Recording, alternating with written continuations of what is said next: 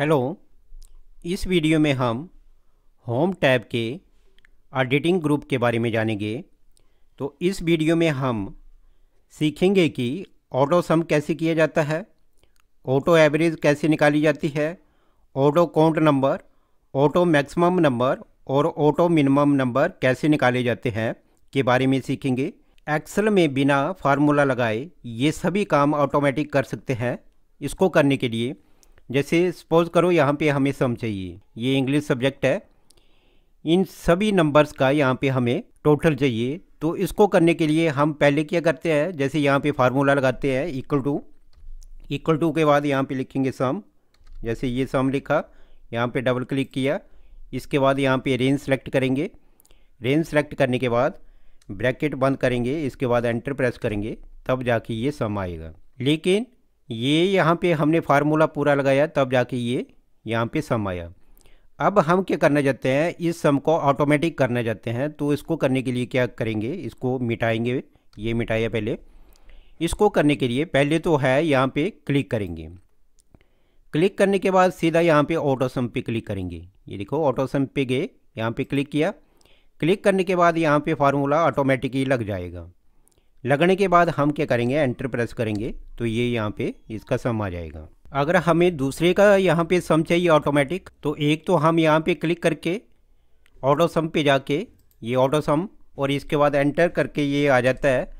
अगर ऐसा नहीं तो हम ये ऑटो सम दूसरे मेथड से भी कर सकते हैं। इसको देखो ये, यहाँ पे सिलेक्ट किया। सिलेक्ट करने के बाद ऑटो सम पे गए। अब यहाँ पे फार्मूला नहीं आएगा, यहाँ पे सीधे वैल्यू आ जाएगी। ये देखो, यहाँ पे क्लिक किया, ये सीधा यहाँ पे सम होके आ गया। तो ये भी मेथड है एक करने का। अगर हमें ये सारे ऑटोमेटिक सम यहाँ पे आ जाए नीचे, ये सभी सब्जेक्ट के यहाँ पे फिजिक्स मैथ्स कंप्यूटर साइंस ये सभी के यहाँ पे सम आ जाए तो हम कैसे करेंगे? इन सभी को यहाँ पे सेलेक्ट करेंगे। सेलेक्ट करने के बाद इन तीनों का ऑटो सम चाहिए, बिना यहाँ पे फार्मूला लगाए तो हम सीधा यहाँ पे क्लिक करेंगे। ये देखो, यहाँ पे क्लिक किया। तो ये सभी का यहाँ पे सम होके आ गया। तो इस प्रकार यहाँ पे हम ऑटोमेटिक ये सम निकाल सकते हैं। अगर यही सम हम कीबोर्ड के शॉर्टकट कीज से करना चाहते हैं तो हम क्या करेंगे? जैसे ये इंग्लिश सब्जेक्ट है, इसका सम चाहिए तो हम यहाँ पे क्लिक करेंगे और कीबोर्ड से alt plus equal to press करेंगे। ये देखो, ये प्रेस करते ही ये जैसे ऑटो सम किया है, वैसे ही यहाँ पे आ जाएगा। इसके बाद एंटर प्रेस करेंगे तो ये यहाँ पे इसका सम आ जाएगा नीचे। ये देखो, सारे का सम यहाँ पे आ गया। अगर सभी का सम चाहिए तो इसको पहले डिलीट करते हैं ये। डिलीट किया। अगर इनका सभी का यहाँ पे सम चाहिए तो हम ये काम कीबोर्ड के ज़रिए भी कर सकते हैं। जैसे कि इसको सभी को सिलेक्ट किया। सेलेक्ट करने के बाद हम कीबोर्ड से alt plus equal to press करेंगे। तो ये देखो, सभी का यहाँ पे सम होके आ जाएगा। इसके बाद इसको डिलीट करेंगे। ये जितना भी है, इसको डिलीट किया। इसके बाद है ऑटोसम में। आगे जाएँगे हम, यहाँ पे ऑटोसम पे क्लिक किया। ऑटोसम के बाद है ऑटो एवरेज। अगर ऑटो एवरेज निकालनी है, सपोज़ करो, ये जो इंग्लिश सब्जेक्ट है, इसकी ऑटो एवरेज हमने यहाँ पे निकालनी है। तो इसको कैसे करेंगे? ये सारा ये नंबर या हमने सेलेक्ट किए, नीचे तक यहाँ तक, इसकी एवरेज यहाँ पे निकालनी है। तो हम क्या करेंगे? यहाँ पे ऑटो सम पे जाएँगे और यहाँ पे एवरेज पे क्लिक करेंगे। तो ये देखो, इनकी एवरेज जो है, यहाँ पे निकल के आ जाएगी। अगर इन सभी वैल्यूज़ की एवरेज यहाँ पे निकालनी है नीचे तो हम क्या करेंगे? ये सारी वैल्यूज़ हमने सेलेक्ट की। इसके बाद ऑटो एवरेज यहाँ पे गए। ऑटो एवरेज यहाँ पे क्लिक किया तो ये देखो, सभी की ऑटो एवरेज यहाँ पे निकल के आ जाएगी। तो इस प्रकार हम यहाँ पे ऑटो एवरेज भी निकाल सकते हैं। इसके बाद इसको डिलीट किया। डिलीट करने के बाद आगे जो है हमारे पास तो काउंट नंबर जैसे सपोज़ करो हमने ये इंग्लिश में कितने हैं ये? इन नंबर्स को काउंट करना है। केमिस्ट्री के कितने हैं ये? फिजिक्स के कितने हैं? तो ये सभी नंबर्स हमने यहाँ पे नीचे काउंट करने हैं। यहाँ पे हम सभी को सिलेक्ट करेंगे। सिलेक्ट करने के बाद यहाँ पे ऑटो काउंट नंबर्स यहाँ पे क्लिक करेंगे। यहाँ पे क्लिक करने के बाद ये देखो, जो नंबर्स हैं काउंट होके यहाँ पे आ गए। ये देखो, जैसे इंग्लिश में है, ये सिक्स नंबर है। ये देखो one two three four five six तो यहाँ पे सिक्स आ गया। सभी के यहाँ पे सिक्स नंबर आए तो ये नीचे सिक्स सिक्स यहाँ पे आ गया। इसके बाद इसको डिलीट किया।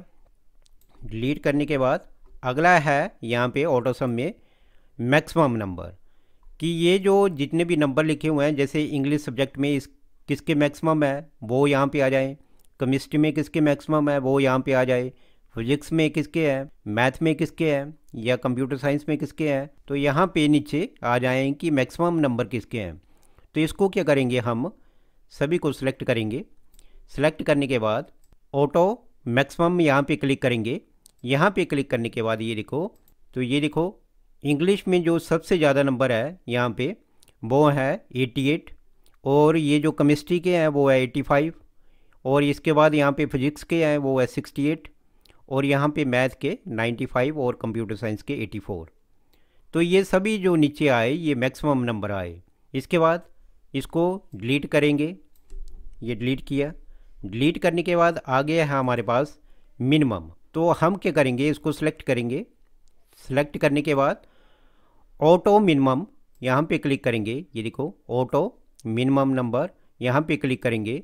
तो ये देखो, हमारे पास तो ये देखो इंग्लिश सब्जेक्ट में सबसे कम जो नंबर है यहाँ पे, वो 45 है।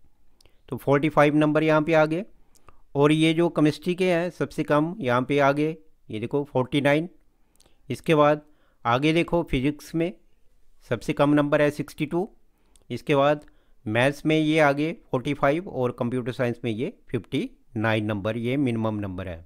तो इस तरह से हम यहाँ पे अगर मिनिमम नंबर निकालने हैं तो हम ऑटोमेटिक मिनिमम नंबर यहाँ पे निकाल सकते हैं। तो इस वीडियो में हमने सीखा कि ऑटो सम कैसे किया जाता है ऑटो एवरेज कैसे निकाली जाती है मैक्सिमम और मिनिमम नंबर कैसे निकाले जाते हैं के बारे में सीखा। अगर आपको मेरी ये वीडियो अच्छी लगी तो प्लीज़ सब्सक्राइब माई चैनल धन्यवाद।